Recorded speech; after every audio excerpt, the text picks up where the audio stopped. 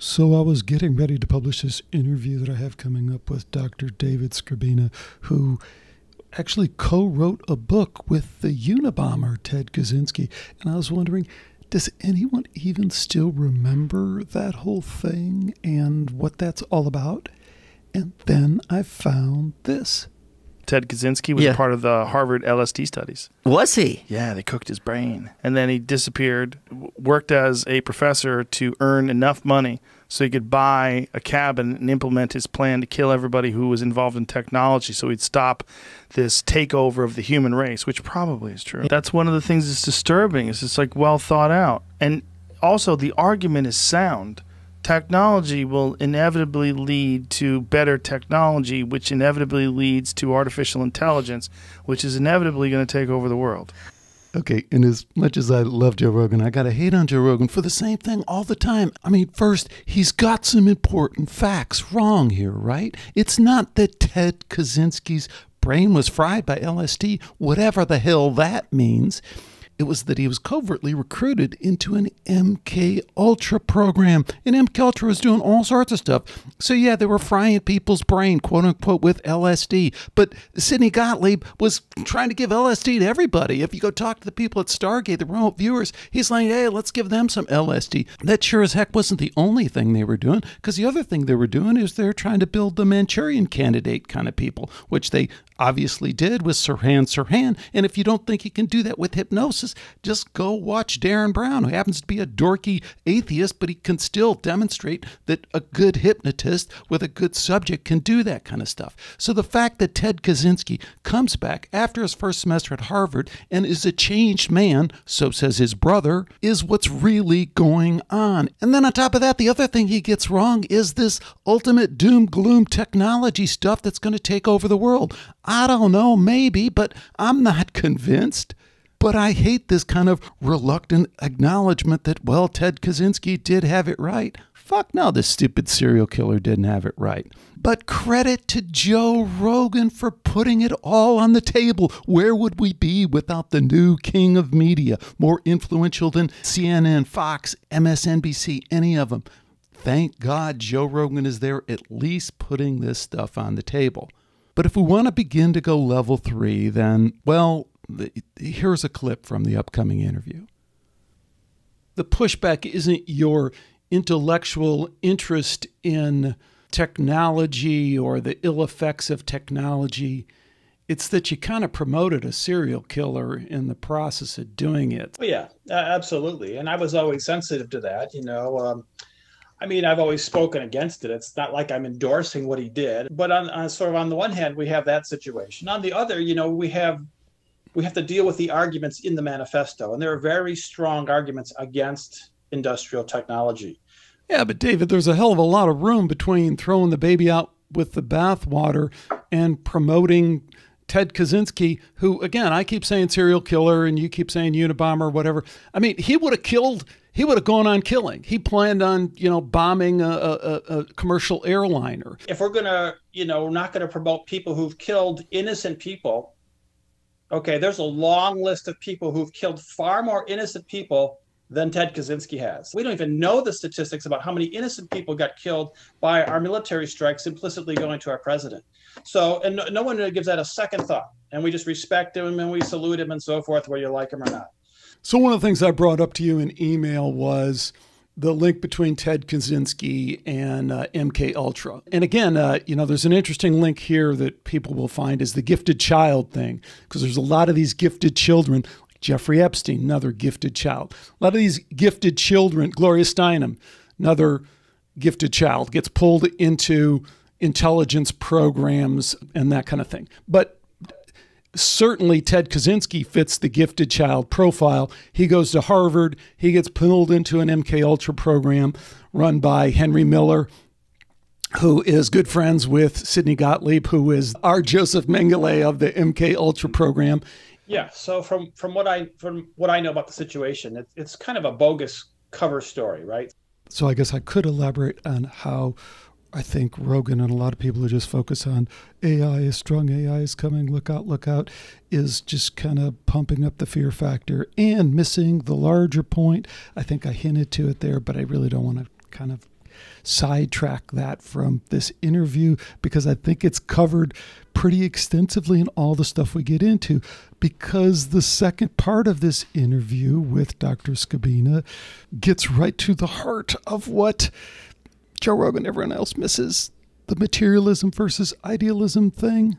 Second clip we we can move on off of that. Let's talk about panpsychism a little bit. I don't want to get too far into that because you know the the interest level and patience people have for that is is pretty limited.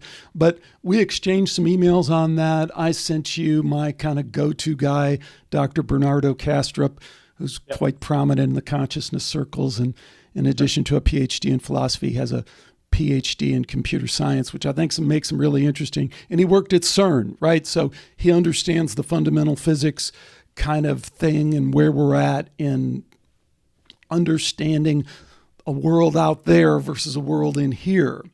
So you kind of pushed back and said, hey, no, you know, Kastrup, I don't think he knows what he's talking about. Well, well maybe we can start there. I mean, what, what, yeah. go ahead. Yeah, well, right. So I, I mean, I, I don't know all the details of of his work. For example, in his case, uh, I've read some bits and pieces. I've read some interviews and a couple little snippets from from his books. Um, but yeah, I mean, he portrays himself as a kind of an idealist philosopher, which stands in contrast to typical physicalism or materialism, right? But aren't you a long way from materialism? Uh, yeah, I mean, I, I, agree with him. I, I, as far as I know, he's an opponent to materialism, and I am too, right? And then what they really miss is the third part of this interview, which is a complete channel shift, as Skrbina points out, because he did write a book called The Jesus Hoax. Here's that clip. Why did you write the Jesus hoax? So we're clicking, we're on channel three now here. This is really jumping around well, I guess when the when I started digging into the data, right? So I, I started coming up with, let's say, the time the timelines, right? Scholars for a number of decades, and it took me a while to sort of really understand this. Scholars, anthropologists, basically, and, and literary experts have made good good progress in dating the parts of the New Testament. Okay, I like part of the story, not all the story. I don't know how anyone contradicts your read of the state of modern biblical slash religious scholarship. It is abysmal. For anyone who comes in from the outside, a science guy, a business guy like me, you start reading what these people are writing and you're like, who's minding the store in terms of publishing this stuff? It's just so silly. Well, right. So, I mean, if you look at, I mean, who's doing academic work on Christianity? So, the first in the first case they're mostly christians. I mean this makes sense right? I mean you're going to have you have christian schools christian universities christian colleges and christian f- professors and they're going to be most interested in the story. They're going to do the research and the publication and write the books but of course they're christians. So they're believing the story they're following they're buying the basic line they're basically believing the bible and they're quibbling about the details and they're trying to explain it. Okay those are a lot of clips but it's a good interview. Stick around. My chat with david Skrbina is coming up Welcome to Skeptiko, where we explore controversial science and spirituality with leading researchers, thinkers, and their critics. I'm your host, Alex Tsakiris, and today we welcome Dr. David Skrbina to Skeptiko. David is a professor of philosophy at the University of Helsinki in Finland. Formerly, before that, he held positions at the University of Michigan Dearborn, Michigan State, Go Green, and other U.S. universities. He's also the author of several books that I think are very interesting and we're going to talk about today. The one I first contacted David about was the Jesus hoax, um, but he's the author of several other books as well. And then, you know, strangely enough, I ran across his introduction to the book Technology Slavery by the serial killer Ted Kaczynski, which he published in 2010. So that's certainly going to be something we're going to want to talk about as well.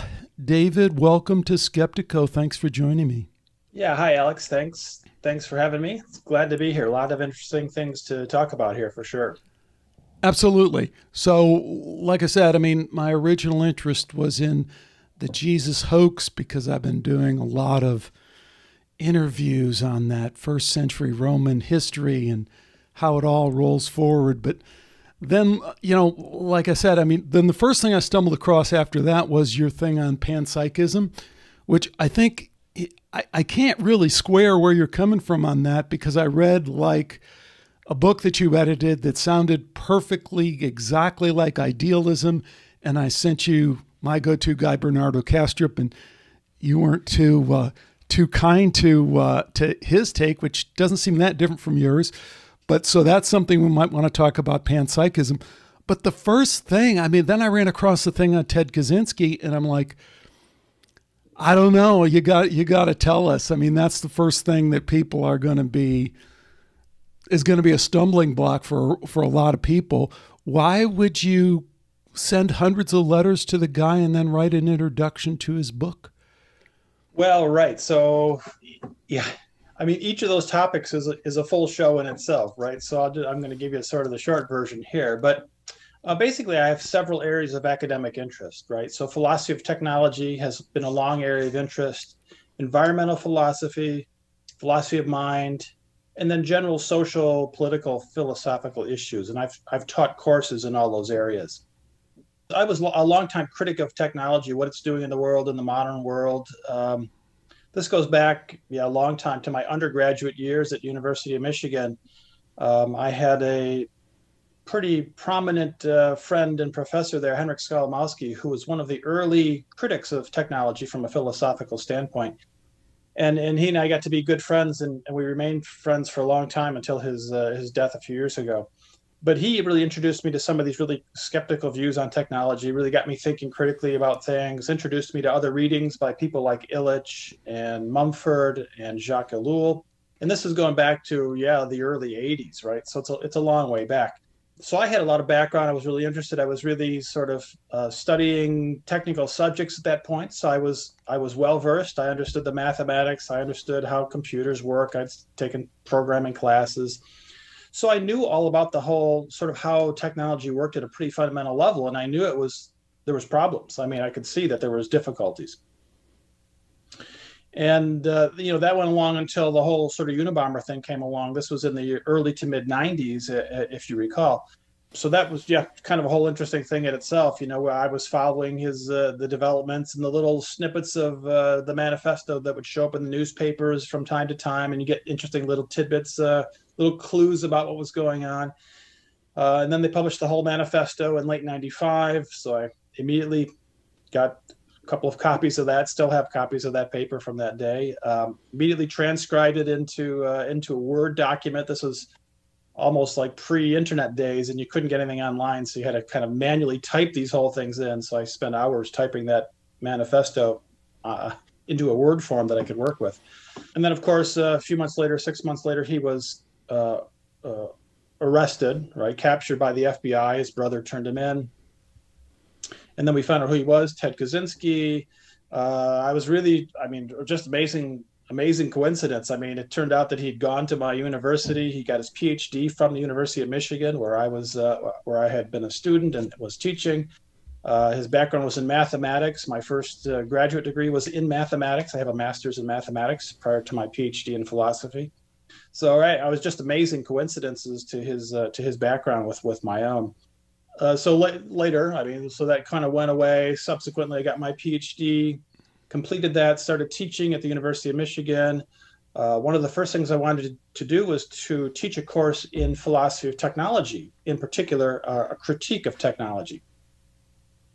And I quickly found out that no one in the whole U of M system had ever taught a course on philosophy of technology. They just they had never done it. So they told me, they said, yeah, you sure you can teach a class, but if you if you want to do it, you have to create the class from scratch, from nothing. So I said, yeah, sure, I can do that. So I started pulling together material, readings, historical readings, and current readings, and critical views uh, about technology. Of course, I had to include something on the uh, from the Unabomber because he was the most famous recent skeptic or critic of technology. I had the manifesto, but at this point, this was in 2003. Uh, it had been a number of years since he was arrested. He was put in jail, and of course, then he goes away. Right? The media doesn't talk about him. He's kind of lost down the memory hole, and, and they never. Yeah, you hear nothing for years. I I didn't really know what was going on with him, what his situation was. Was he well? Was he dying? I I knew nothing. So just out of the blue, I wrote him a letter, just a kind of a simple letter, just said, uh, "Hey, I'm inter- interested in your background. I'm preparing some material on a new course. Just curious what your thoughts are about the manifesto and maybe other other developments in the in the you know whatever it was six or seven years since then." Just a very simple letter. Was really not expecting any any answer at all. Uh, and then, uh, yeah, about three weeks later, got a nice handwritten response. He said, "Thanks for your letter, Dr. Skrbina. I'll follow up with a full response shortly." And then, about another couple weeks after that, I got a 22-page handwritten letter answering in detail all of my questions, and that really sort of kicked off the process. Of course, this, there was lots of interesting things going on. He had some new ideas. He had some some new material, some new essays that he had written in in the prison he had some thoughts on you know developments in society. I started sort of pressing back on him. Um, uh, of course, one thing he didn't really have was a, was a constructive criticism, and there was lots of things one could say against him and against the ideas in the manifesto. And so I started pushing back on him, and I'd say, "Well, what would you say if someone said this? And what about this? And maybe what about this point?" And then he was responding to me with his re- replies to my criticisms of his view in, in lengthy, detailed letters. Uh, uh, again, this was a slow process because it takes weeks, you know, for a letter to go back and forth. Eventually, we had a lot of material. I mean, there was, I could tell there was a lot of ideas and, and things in there. And I suggested at one point, well, you know, there's enough stuff here. You can probably put out a book. And he agreed. He said, "Yeah, that's fine." But uh, he said, "I don't know how to do that. And I'm in I'm in prison." And I said, "Well, I know how to do books. I've published books before."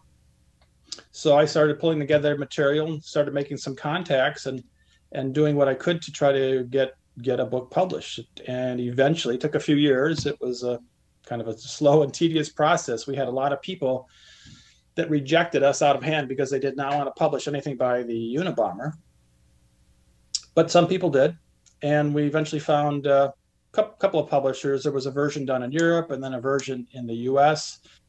Uh, the book Technological Slavery was a result. I wrote the introduction to the book, and a, a large chunk of that book, about one quarter of that book, was letters to me. So he had taken those responses that he wrote to me and he put them all together and as a as a sec- whole section of the book, and those were his responses to my criticisms. Okay, so I'm a tech guy, undergraduate in information systems, and then I went into business, and then I went back to get a PhD in artificial intelligence, and then started an AI company. So, and on this show, then I left and started a company again because I wanted the money, and that was probably a good decision for me, not for everybody. But I'm well versed in uh, in a lot of these issues that you're talking about. Very interested in the strong AI proposition, the simulation proposition. I've spoken to some very intelligent PhD people about all that kind of stuff that I'm really impressed with. But I think, and, and you know, I mean, I don't want to totally, you know, kind of grill you, but you understand the pushback. The pushback isn't your intellectual interest in technology or the ill effects of technology. It's that you kind of promoted a serial killer in the process of doing it. So, you know, you understand the pushback. Well, yeah, absolutely. And I was always sensitive to that. You know, um, I mean, I've always spoken against it. It's not like I'm endorsing what he did. And I said, well, okay, these are terrible crimes. And of course, three people got killed and 23 people were injured badly. And, uh, you know, I, have never condoned what he did. But on, on sort of on the one hand, we have that situation. On the other, you know, we have we have to deal with the arguments in the manifesto, and there are very strong arguments against industrial technology. Uh, uh, they're they're well, well presented. They're very logical. They're very clear. They're very rational.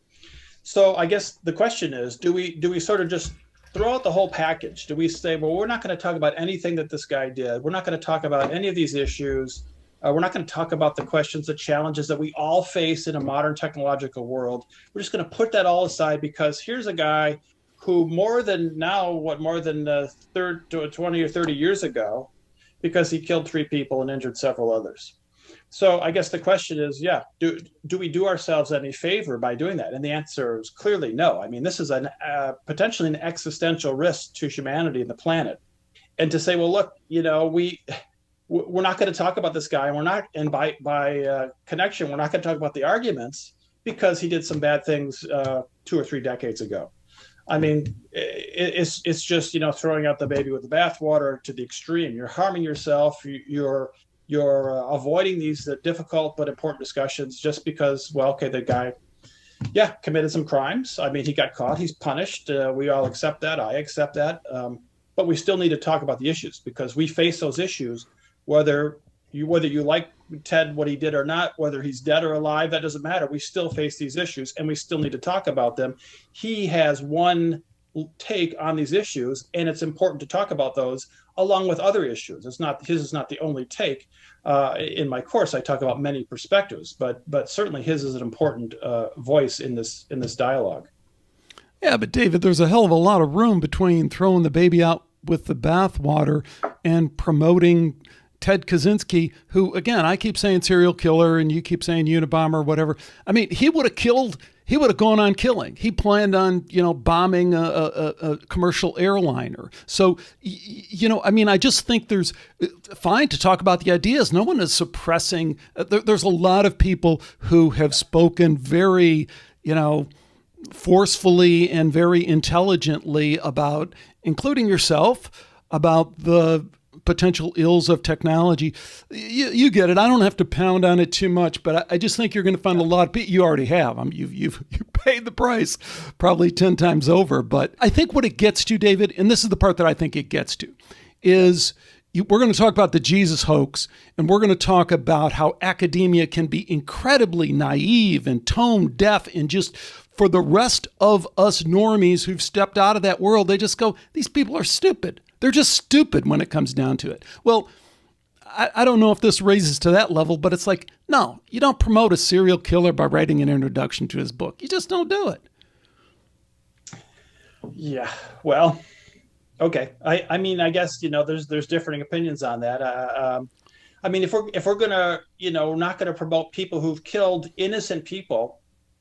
Okay. There's a long list of people who've killed far more innocent people than Ted Kaczynski has. I mean, you can start with any president in recent years, up until the including one who probably issues military orders to kill more than three people every day.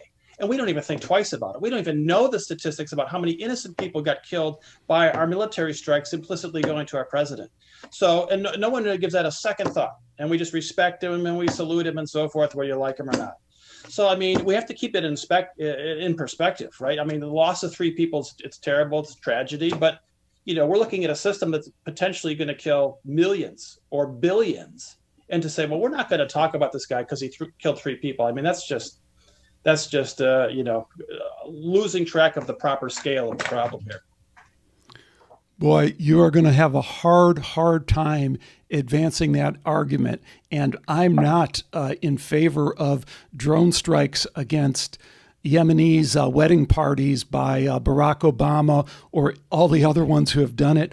I get that argument, but I, I just don't think you understand the line, and I've already pounded on it enough, so we can move on. But uh, that's going to be a hard one to hard one to sell. Is equating uh, Ted Kaczynski with anyone else who claims to have a cause and kills people. Mm-hmm.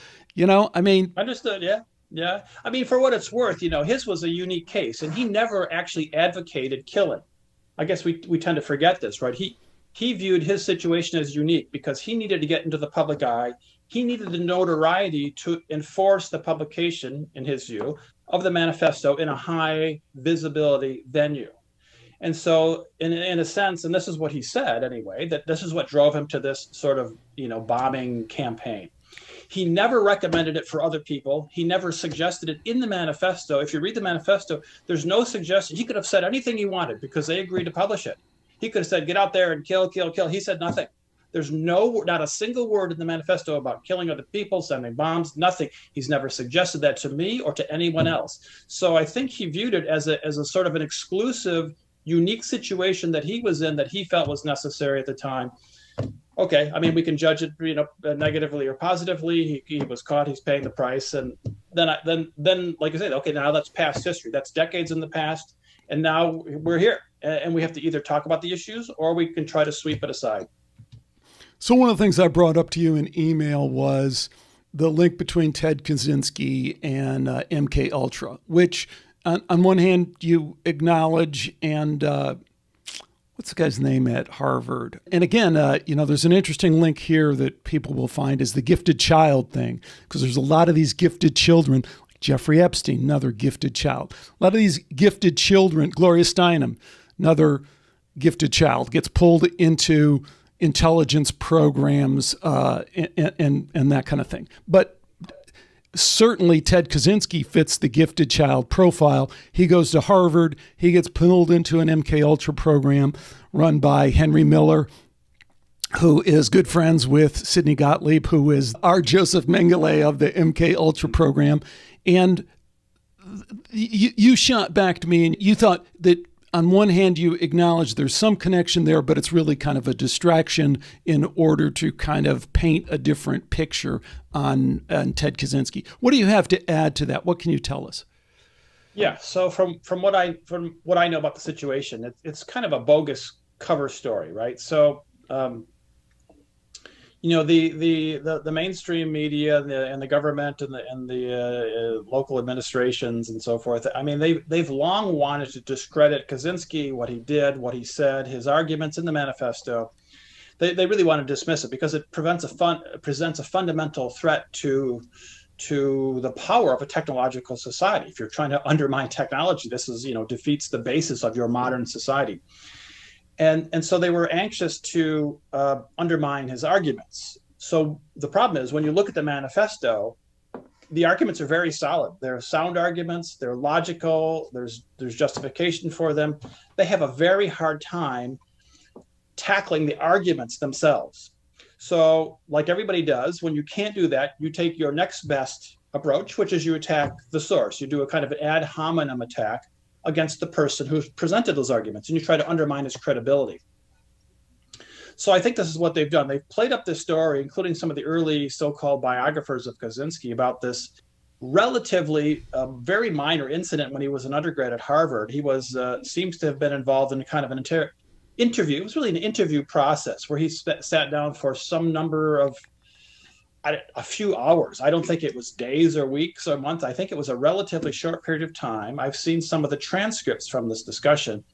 He was interviewed by by uh, uh, these guys, and it was it was kind of a, a uh, an experimentation on on on duress, right, or psychological stress, where where they would bring in these bright students, they would press them for their arguments, and they would they would push back and they say, well, that's ridiculous and that makes no sense and you don't know what you're talking about. Just to push back on these guys, to put them under these conditions of, of sort of a kind of a stress stressful situation.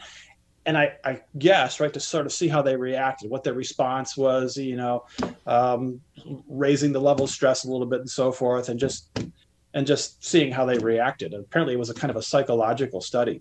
Um, but when you read the transcripts of what was going on, it was very mild. I mean, it was just little, little sort of niggling points and little personal insults and just little, you know, like little sniping criticisms, which you know you would almost you'd almost pass it off as well. Okay, this guy's a jerk, or he's just being stupid, or he doesn't like me, or whatever. You know, if you were just a normal student. Um, so, I mean, th- th- this was really the extent of it. It was, re- it was really a very minor, virtually inconsequential uh, period of time that he talked to these uh, to these uh, these researchers. Um, but of course, the mainstream media and the mainstream view wants to portray this as some kind of mind warping, you know, brain altering process whereby they distorted the whole his whole outlook on on the world and they made him hate humanity and they turned him into this, you know, serial killer uh, as a way of I think, as a way of undermining his basic position, which is he has a logical and rational argument for what for what he says. So, so uh, again, it's a it's a sort of a, an ad hominem attack against Kaczynski, uh, really with just sort of a kernel of truth, but there's really virtually nothing to it, and it, and in any case, it has no bearing on the actual arguments that he presents. So, I think the whole thing is kind of a smokescreen, just to sort of cast doubt on the whole guy and make him seem like he's a yeah, he's you know been a mind altered uh, you know dupe of the system or something, which is, is everything I've seen is completely ridiculous.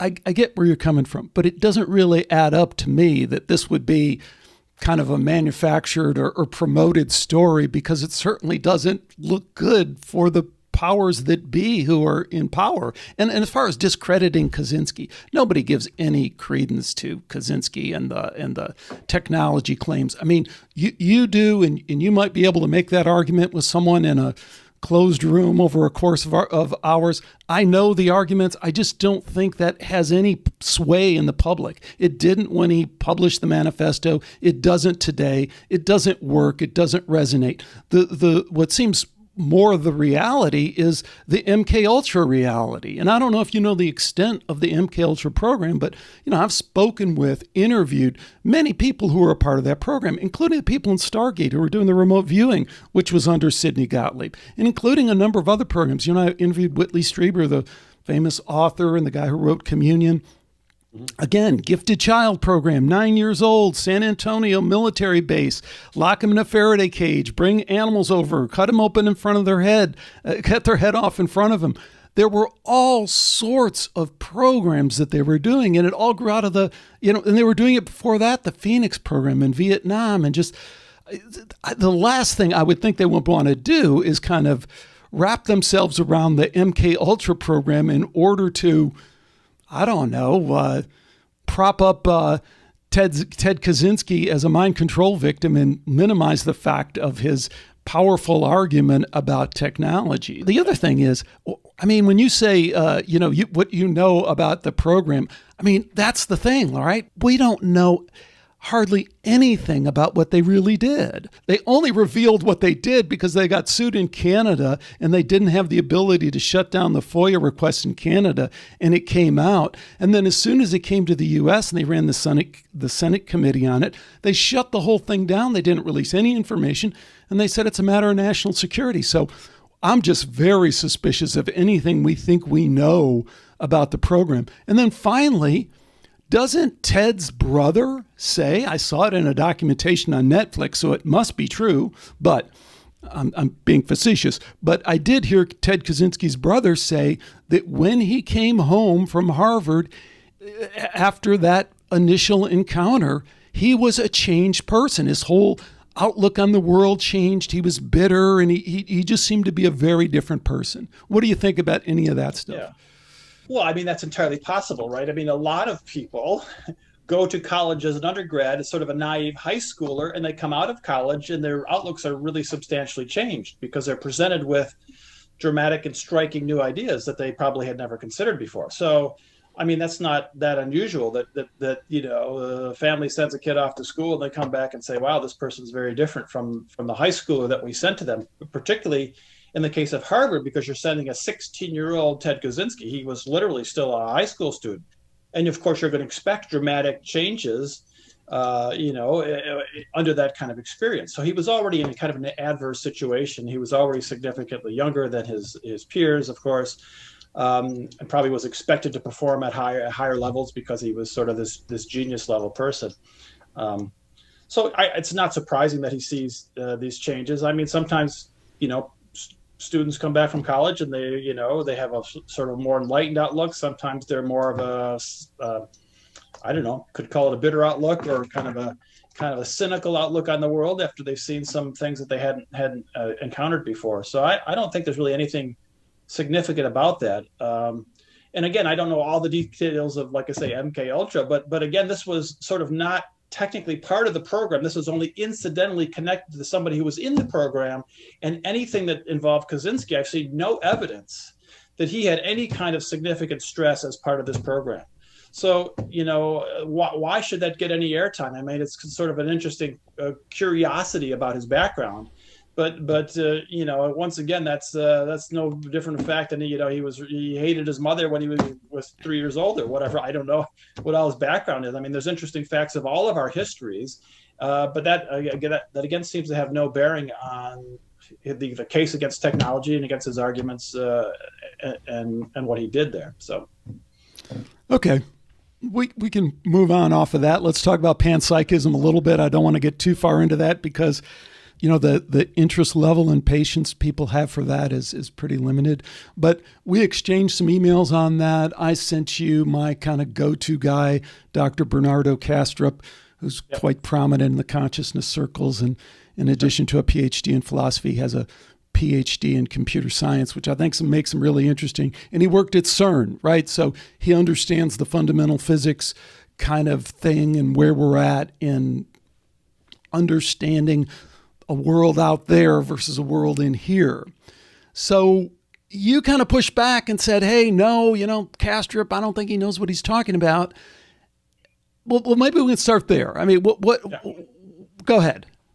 Yeah, well, right. So, I, I mean, I, I don't know all the details of, of his work, for example, in his case. Uh, I've read some bits and pieces, I've read some interviews and a couple little snippets from, from his books. Um, but yeah, I mean, he portrays himself as a kind of an idealist philosopher, uh, which stands in contrast to typical physicalism or materialism, right? So, uh, you know, it depends on how much detail you want to go into in these uh, sort of metaphysical theories of, of mind and reality. But aren't you a long way from materialism?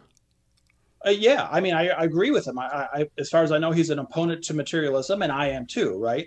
So the, the, the question is, of course, so yeah, just quick background, right? So if a traditional materialist in a philosophical sense says all that exists in the world is matter and energy, basically physical stuff, right? So to the typical par- particles and and uh, you know bits of elect- electric uh, uh, electromagnetic waves and photons and bits of matter and so forth, right? So so there's this this standard form where all that all that's real in the world is matter, material stuff, okay the, there's a further further premise that this matter is sort of in, in, psychically inert or psychologically inert. It's not thinking matter. It's just it's just mere matter. It's dead matter. It just interacts with the through forces and, and pressures and through ener- energetic interactions, and it's it's purely driven by these mechanical laws. So the proper the proper terminology I think that we should use is this idea of mechanistic materialism. So the, the whole universe consists just of matter, material stuff, driven by mechanical forces, uh, laws of physics, you know, math described by mathematical equations. And this is sort of the standard traditional view of what materialism means. The, the problem is to, to explain sort of you know what goes on in here right to explain consciousness and conscious awareness and the mind in general because if you look in the world of matter, there seems to not be any conscious awareness. Things just look like they're just stuff like rocks, you know, and and you know, and, and dirt and air and uh, stars and planets and uh, whatever, right? Just just just stuff, just following mechanical laws. So the, the question for a materialist is how to explain the existence of, firstly, the human mind, which is the only mind we know for sure, and then other minds, presumably animal minds, which most people accept, possibly plant minds, and then minds beyond even the realm of, of living things. And this is actually a very difficult problem for any materialist to explain how this actually happens because it seems to be impossible. It seems like a miracle. It's, it's almost like humans are some you know miraculous creature. Then you know God came down one day and zap, and we all had this you know mind that got created out of nothing. Um, it really seems like a miracle. So so there seem to be some basic flaws in this materialist picture, which says the whole universe for billions of years was just inert psychologically dead matter and energy interacting interacting and then you form planets in early life and complex life and then there's you know proto humans and then there's humans and then at some point bing you know the mind the consciousness awareness click kicks in and suddenly the mind appears out of nowhere. It, it's inexplainable. It, it's like a it's like a miracle right? It's called brute emergence it makes no sense. And physicalists or materialists have no explanation for how that works. And I guess the conclusion is that they must be wrong, that it cannot be the case that we have standard mechanistic materialism, because there's just no way to get from that to the human mind. I don't understand the divide yeah. though, because yeah. when I hit you with the panpsychism, the, the thing about panpsychism, it always seems to me like kind of backdoor materialism. It's a way to kind of leave the world out there but then we can still say, yeah, because it has all these little consciousness bits hanging along with it, but it's still out there. And then I read this from Skolimowski, who you said you greatly admired at University of Michigan, and he good, sounds like a good, good friend of mine for 40 years. Yep. Great. Yep. And you edited uh, and collected and edited and published, helped publish his writings. Here's what he writes. This new participatory worldview explains how the concept of the world out there, independent of mine, is incoherent. Right, great. we must see mind as actively shaping and creating the world. Again, great. Even truth itself, he argues, is enmeshed in the web of participatory mind, and all are encompassed by universal process of cosmic evolution. I mean, Bernardo Kastrup could have wrote this. This is idealism. What is uh, what is the difference here? Uh, well, for, first of all, Skolimowski never called himself an idealist ever. Uh, he, he had this theory called noetic monism, which is, was his favorite term, and that's in his his book uh, Participatory Mind. Um, but there's there's different alternatives, right? So so I guess just to sort of complete my argument, if you start with mechanistic materialism, but you don't deny the reality of the human mind, there's really only two options. Either it's the miraculous route about evolution went along with no mind, no mind, no mind, no mind, and then suddenly at some point, whatever, who, who knows what, jellyfish or dinosaurs or you know early apes or whatever, and zoom, suddenly they get conscious out of nowhere, out of nowhere, literally out of nowhere, which is a miracle. That's one option the other option is no that's actually what happened was mind built up in complexity over time just like physical structure builds up in complexity or, over time so the alternative is the panpsychist option which says well look there's some kind of element of uh, uh of psychic awareness or mind or consciousness even in the most elementary particles uh, in, in, the universe.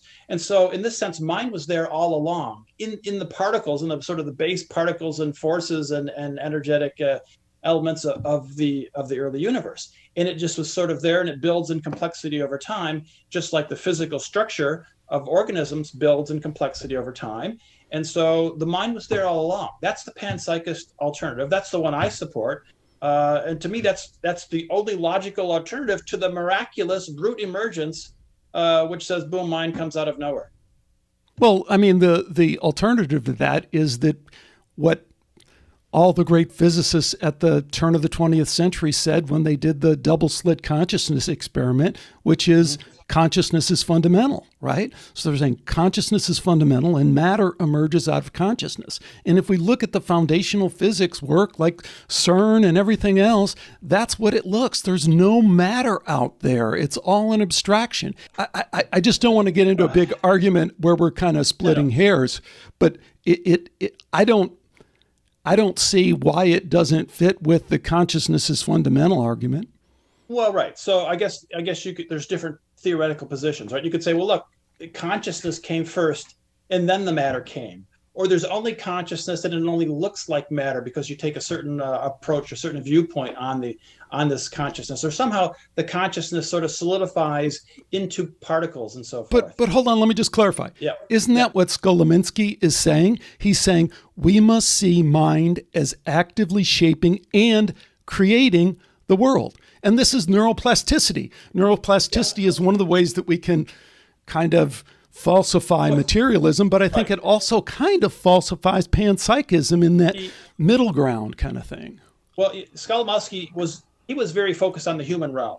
So he actually talked very little about non-human consciousnesses. To him, that was uh, either I don't know, it was not really an issue of interest, or he felt like he couldn't say much. So he's talking in the realm of human mind.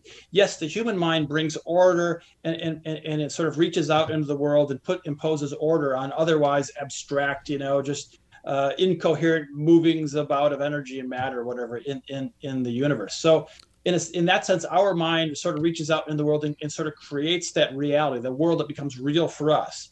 The, the implication is that anything that has a mind does the same thing. So if you allow that animals, for example, have minds, chimpanzees or dolphins or whatever, they too must also, from their perspective, reach out into the world and their minds create a reality for them. And it's a different kind of reality for a chimpanzee or for a dolphin or for a whale or whatever and of course, this goes right down the line. So you can say, well, look, any animal, I would say, has a kind of conscious mind. Its mind, however simple it might be, reaches out in the world, shapes that reality, creates that reality for it, and it makes a reality that's that's coherent for that type of for that being, for that type of mind. So you could argue that everything in a panpsychist view, everything has that little mental ability to kind of reach out and shape the world, the universe in a certain way, and to create the reality from its own perspective. So that's the panpsychist uh, position, I, I think. Yeah, I, I, just don't think it tackles all the data. Like if you look at, I'll stick with neuroplasticity for a minute. Yeah, and if you look sure. at Dr. Jeffrey Schwartz at UCLA, and he, he's probably published as much as anyone on panpsychism as it relates to consciousness. And what he found in working with patients who are suffering from OCD is that this mind body problem, which isn't really a problem, it's always been answered, is that mind is shaping body. So in his patients, their mind is changing the cell structure of their brains. So it's not, it's partly what you're saying, it's partly reaching out and interpreting the world. But clearly, at this point, it's reaching out and reshaping the world. It is, in fact, creating the world. And I don't see how you can really interpret the double slit experiment any further, you know. And then I, will I'll stop there, but then we can talk about Dean Radin and his double slit experiment with the meditator, where they're obviously affecting the photon beam. They're not just reaching out and shaping the world, they're changing our physicalist measurements of the world. Right. So, I mean, you got to be careful because there's several issues going on here, right? So, one is when you start talking about the mind versus the world, it starts to sound like dualism, right? So, metaphysical dualism says. But you like get you get what I'm saying. I mean, the words Yeah. kind of. How are you going to how are you going to talk about this stuff? I know. I agree. I agree. I totally agree. It's hard to talk about it, but we have to we have to keep it in our minds. Are, are we talking about two things like the mind and the physical world, and then they're working on each other, or this one's driving that, or vice versa? Is that the case, or is it really a monist system in which you really have one basic reality, which has to have one basic set of characteristics?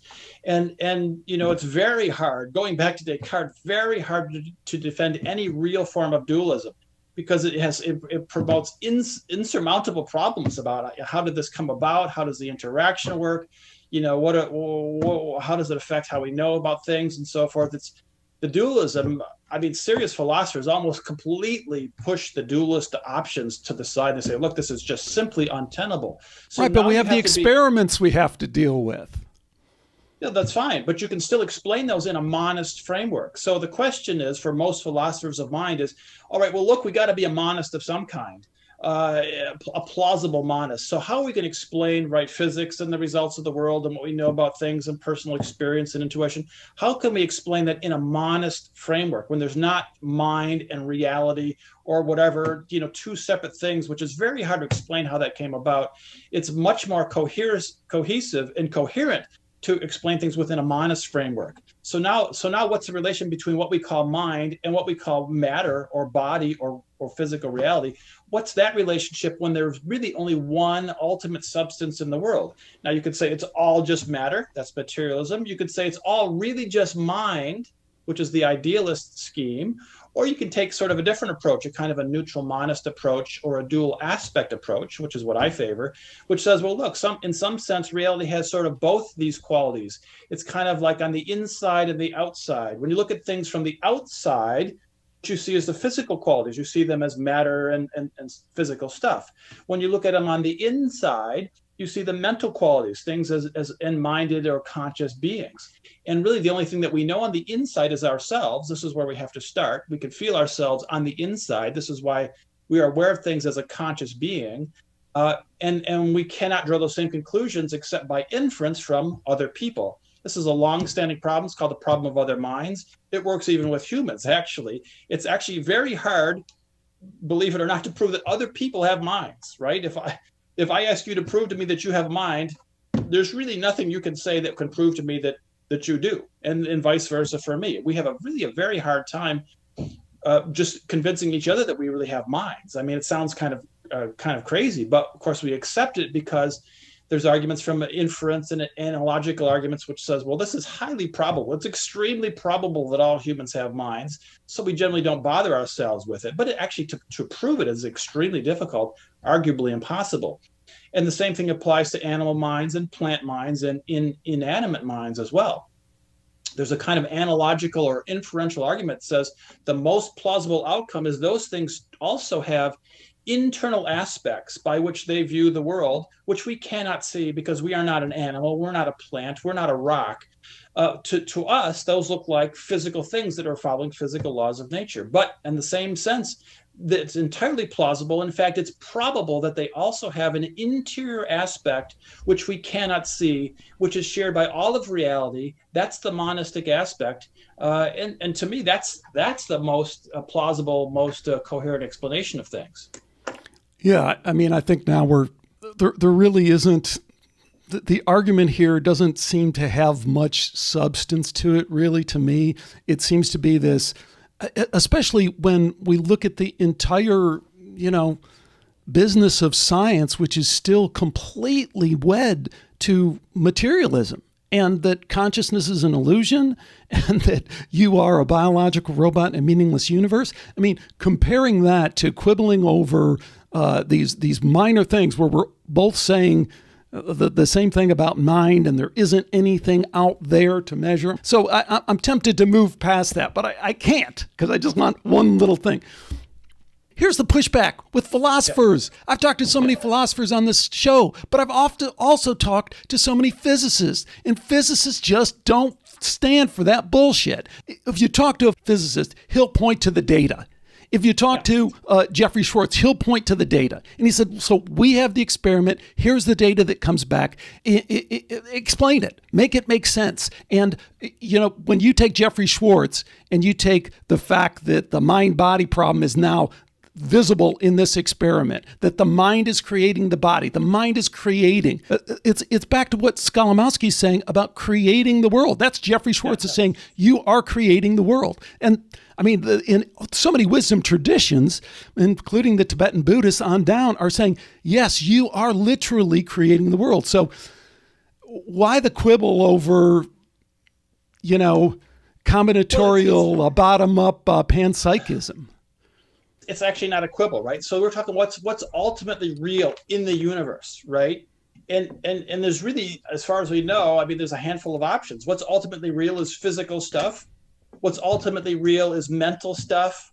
You can call the mental stuff God. Yeah, but we don't have any argument on that. We there there there is no ultimate reality to physical stuff, right? It's just we just found a way to measure okay. it. Okay. Oh, so, oh, so there's no ultimate reality, or it's an unknowable ultimate reality. Is that I, I guess right? You could say that. Well, we could say, well, we just don't know. It's like it's like saying, well, what happened before the Big Bang? Well, we have no way of knowing that, so we're just going to forget about that whole issue.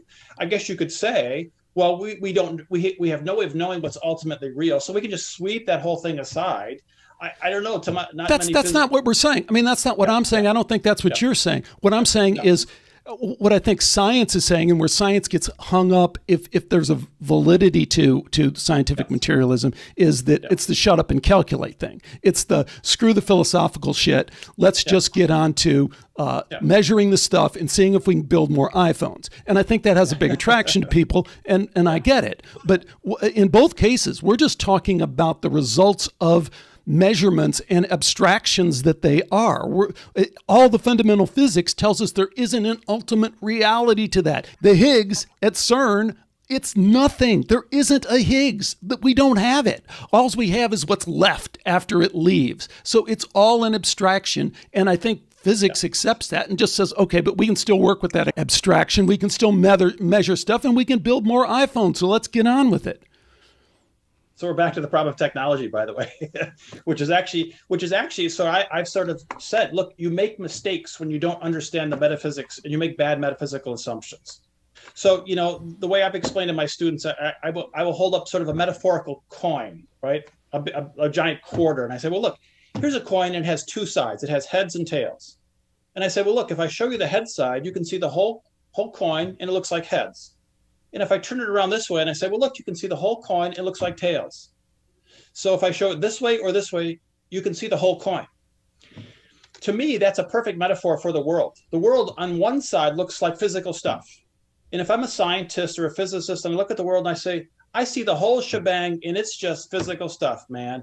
It's just particles and energy and calculations and physical laws, and I can do the whole thing. That's the whole shebang. And in one sense, it is but you're only seeing one side of the whole thing because it doesn't explain what's going on in here. I can turn that picture around and I can say, look, I can describe the whole world in mental processes and mental concepts. This is the argument for idealism, by the way. I can describe the whole universe in mental concepts, and then and then I'm still describing the whole universe because I'm showing you the other side of it. And and you know you can't get from the one side to the other. The physical guys can't get to the mental side and the mental guys can't get to the physical side. So you have these funny difficulty difficulties going on uh, in terms of the metaphysics of explaining how this stuff works. But but we're guaranteed you are mistaken if you take one side of the coin and say there's not another side you're guaranteed to be mistaken. In fact, you're obviously mistaken because what's real about the world is not the physical reality that's not true. The most real fact about the entire universe is that you have conscious awareness, period. That's fact number one. Every other fact is a dubious speculation on your part outside of that fact. So this is this is the kind of the starting point that you have to go by. Totally agree. and and I think okay, that- well so so so your physicist guys are dead flat wrong because they know nothing about sort of the, the entire the, the most real fact of existence which is their consciousness because they can't explain it. They don't know what it is. They don't know where it comes from. They don't know how it changes the effects of physical experiments. They don't know any of that. They don't know squat because and, and they just claim well i don't care. I'll just sort of wish i'll just toss that away and those philosophers are all confused and i'll just deal with the exper- experiments and the particles and i'll just make my cell phones. Yeah of course you can do that but you're making mistakes. You're making metaphysical mistakes because you don't understand the nature of reality when you do that David, I got 100 shows on that. And my physicist guys are guys like uh, Don Hoffman at, at UC Irvine, who is okay. super respected and is looking at a, a, mathematical model for consciousness, but he's completely post materialist. I mean, post okay. well, materialism I mean, is just. Some, sure. Yeah. yeah, I mean, it, it, doesn't it doesn't make sense for any thinking oh, right. person. Exactly. That's that's what that's exactly what that's exactly right. It does not make sense, and you have lots of difficult challenges to to make it make sense. But physicists yes. are in a poor position. I, am sorry, I just you know Hoffman, all these guys aside, I, am sure they're smart guys, but they're in a very poor position to make that jump from their physical backgrounds to the mental uh, the, the mental aspect backgrounds and, and, and try to explain this.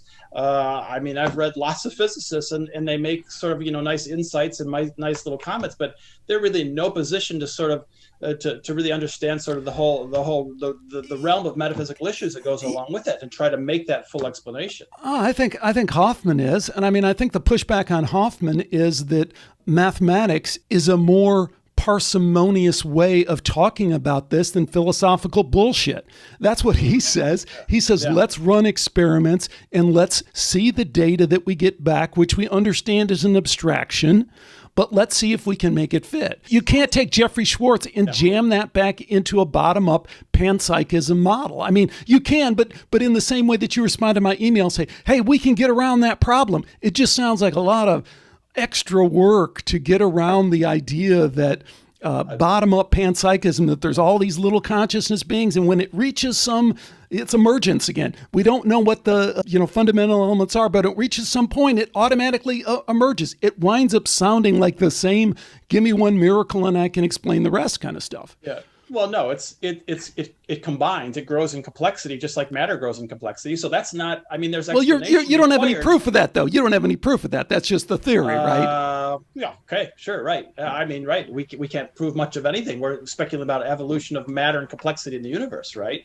So, but the but the problem is with Hoffman and these guys. You got all the mathematics in the world. You got all the experiments in the world. You'll never get to conscious awareness. Never in a million billion years will you get from that to conscious awareness because there is an inexplainable gap on they're on one side of the universe and they cannot get to the other side without without introducing metaphysical principles that's that's that's a kind of a yeah that's just how it is so i, yeah, but see hoffman you, you don't maybe you don't know hoffman's stuff because a little a little bit well, because he says, yeah, and he says I can totally be wrong, but we have to try.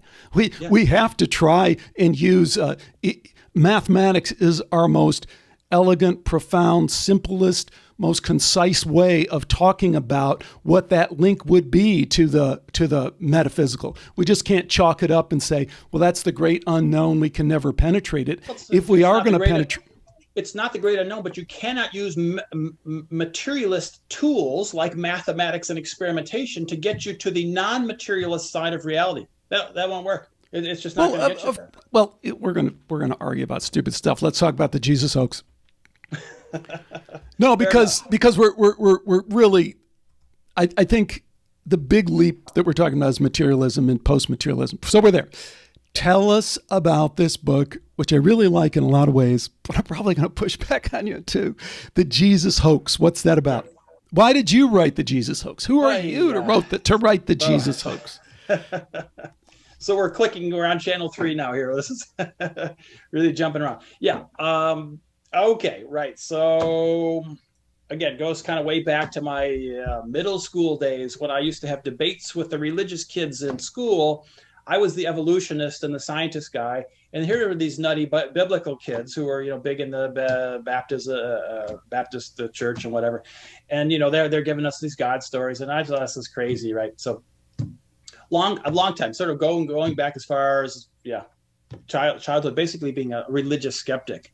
Um, so this is kind of kind of my my. Uh, was, was your family? What was your? Did you have any religious upbringing, or were your parents religious? Yeah, well, yeah. When I was very young, so was, we were Presbyterians nominally. Uh, I recall going to a Sunday school. You know, once a week, my mom would take me. Dad stayed home and worked around the house, and you know, mom would take me. Uh, I would sit in Sunday school and you know BS with a kid next to me, and uh, you know, I don't know if you know Presbyterianism, it's, it's really watered down theology. It's really mi- minimalist, and and to me, I just kind of sat there and just kind of nodded my head and just didn't really didn't really believe any of it. So, so I, I was predisposed. I was never really raised religious. I was raised, I guess I would say, open mindedly, not one way or the other, uh, but just sort of inclined to be skeptical about things, like like I am about most things. Um, and so I, I met, I mean, any, okay, so you get to the Bible, you're reading miracle stories and Son of God and resurrections and all these kind of heaven and hell. So, okay, any rational person has to be skeptical from the start about these things. And then and then you sort of you sort of dig into it and you say well what's the actual what's the actual basis to this story right? You have the new testament which is the whole story of christianity. And and, and you start to sort of you know wonder what's going on there. Um, you know these guys are talking like they know things and and they're uh, sounding very convinced and very compelling and so who are these guys? You know, what were they thinking? What were they writing? This is kind of the interesting context, right? At what point were you getting serious about investigating this as a scholar? Yeah, right. Well, I guess when the when I started digging into the data, right? So I, I started coming up with let's say the time the timelines right? Scholars for a number of decades and it took me a while to s- sort of really understand this. Scholars eh, anthropologists basically and, and, literary experts have made good good progress in dating the parts of the new testament. So you basically have the letters of paul and the four gospels and some other extraneous pieces. And they've been able to date these things fairly fairly well. And they've also looked for other confirming data about the Jesus story and early the early years of Christianity. Just just so we can be clear, yeah. you're referring to the probable time when they were first written because then we have the whole other dating issue regarding the manuscripts, right? Exactly right. So we don't have we don't have original manuscripts. We have copies of copies of copies. But we can work backwards and we can say, well, look, there was probably an original manuscript written in a certain time frame. So this is exactly right. And so, so for example, we've dated the letters of Paul. So he wrote nominally 13 letters, although half of those are considered forgeries. So he's actually written six or seven that are legitimate. We can date those between the year 50 and 70 AD. And I think scholars, there's a pretty strong consensus that the, that's when those letters, that's when Paul lived. That's when he wrote those letters. He died sometime before the year 70. So yeah, okay, that makes sense. That's when he wrote the letters sort of the first striking fact to me was was the gospels. And if you look in the letters all the letters of paul he does not mention anything about the gospels. He doesn't talk anything about jesus birth. He doesn't tell you anything that jesus said. It's almost like he doesn't realize that there were any gospels at all. And in fact there weren't because the gospels were not written until after paul dies. And this was sort of one of the first really enlightening facts for me. And you say well look when did the when were the gospels written? Well the experts say well look the first gospel was mark and that was written around the year 70 shortly after the romans defeated the jews in the first revolution in the year in the year 70 uh, the the next two gospels matthew and luke were written in the mid 80s ad the fourth gospel john was written in the mid 90s ad these tell the story of Jesus, not the letters of Paul, and nothing before the letters of Paul. And, and then you start to put the whole first century into perspective and you say, well, wait a minute. Something's crazy here, right? Because you got the life of Jesus. Jesus lived nominally from 0 to 30 AD. It's the last three years when he performed his ministry and he did all the miracles. There's documents in the Bible, something like 36 miracles uh, yeah, he's walking on water and raising the dead and calming the storm and the fishes and the loaves and all these all these miracle stories. And you say, well, look, where's the where's the contemporaneous evidence? Where's the evidence from anybody who lived at the time of Jesus, at the time of his ministry, within a few years after? Where's the evidence that people saw these miracles, for example? Some of the miracles were in front of a few people, some were in front of thousands of people. And if you were there and you witnessed a miracle and there's thousands of people, probably hundreds of those people are going to do something about it. They'll write it down. They'll tell somebody who wrote it down. They'll report it. I don't know, whatever, right? Some kind of documentation. It's an impressive thing, right? I mean, you're talking a real miracle here, right? And instead, you look at you look at what happened, and and you look and you find nothing. There's nothing. There's zero, zilch, nothing from the time of Jesus' life, from the three years of his ministry, for two decades after the crucifixion. Nothing, zilch, zero, not a shred of evidence, not a letter, not a document, not a carving, no relics, nothing Zero. And so, wait a minute, how is that possible? And then suddenly the letters of Paul show up. This is starting in the year 50. That's 20 years after the resurrection. And he's telling things about how Jesus rose from the dead. It's like, well, yeah, sure, right. How do you know that? It was 20 years ago. And then decades after that, you get the miracle stories and you get the raisings from the dead. And then Jesus' uh, Sermon on the Mount and all this stuff shows up 40, 50, 60, 70 years later. You say, wait a minute What's going on? How, how could that happen? How could the people decades later know precisely what happened decades earlier when people at the time said nothing about the story? So immediately, you know, then the warning bells go off. You say, something's fishy. This just doesn't make sense. What's going on? And then you think about, well, who was doing this?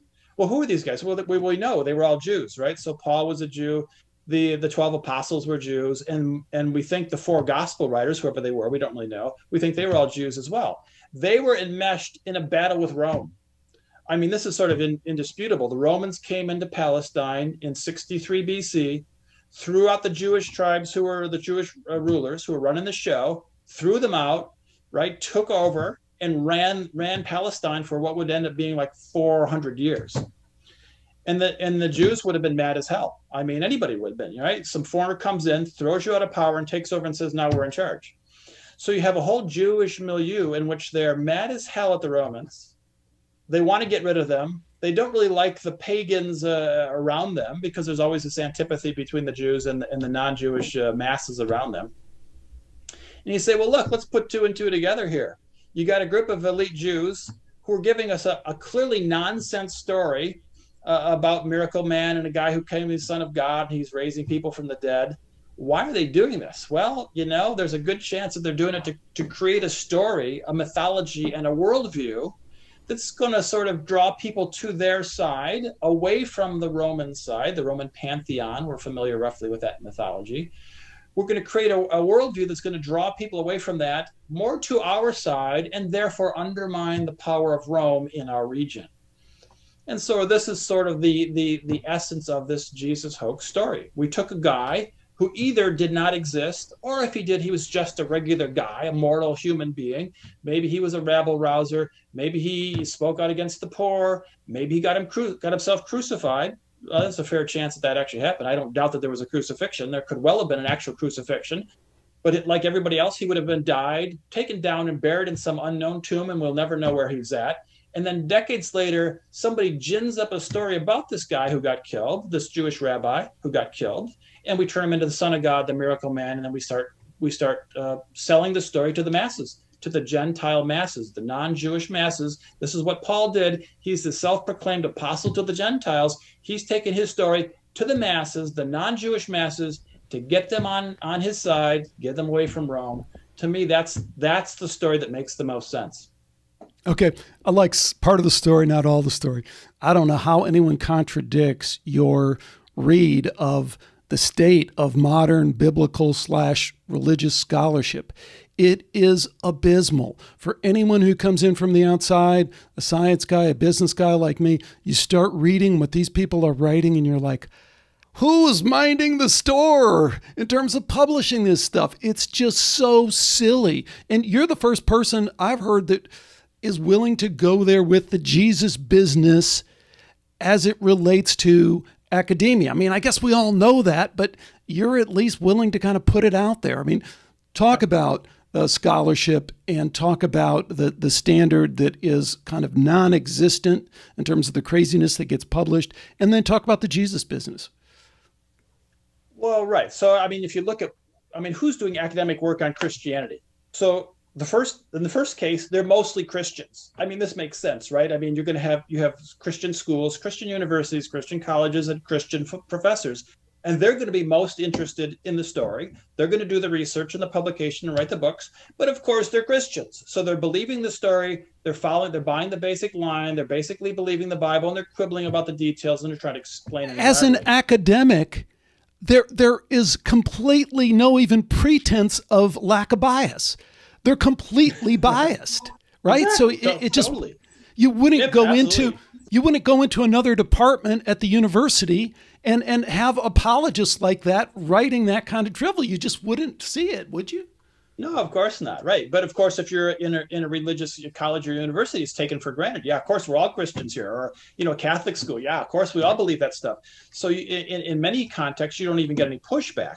You know, in a secular, whatever, normal public public university, you should be getting pushback, but you don't. You get you get Christians writing about Christian stuff. So, so, so to me, you almost have to I mean, all these guys, I mean, they make good points and they, they do good, good, solid research, but their basic worldview is not going to be skeptical towards the basics of the fact because they're biased. So you have to put, put that all into a shelf and say, okay, here's some interesting factual data, but they're not going to challenge the basis of the story just because they're Christians.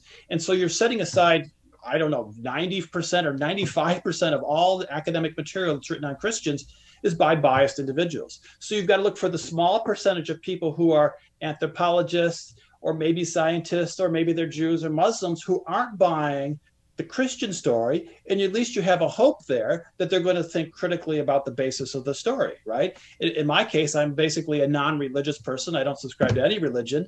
Uh, I try to be a rationalist. I, I try to, you know, be, I, like I say, I have a technical background. I have a degree in mathematics, so I try to be sort of logical and analytical about these things, and uh, you know, I'm trying to be open to all solutions. But when you look at it sort of objectively, you you you see this as a boatload of nonsense, and something else was going on, and you have to have the courage to sort of get to the bottom of it and, and try to give a real story about what what most likely happened.